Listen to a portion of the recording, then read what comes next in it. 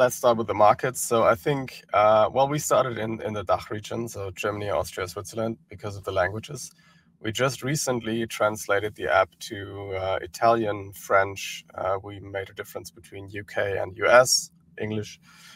And with French and English, you can also target Canada. So those are the, the markets we're currently in and targeting, or the, the markets we're in. You can download the app wherever you want, but might not be in your specific language. Mm. I think the US obviously is very interesting. Um, more than 300 million people uh, lots of them are somehow engaged in endurance sports.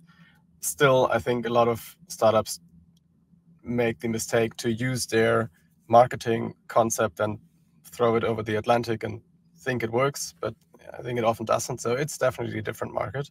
Then there is Brazil, which is a huge market in endurance sports, and of course Asia and and in some parts even Africa. I think become more and more interesting.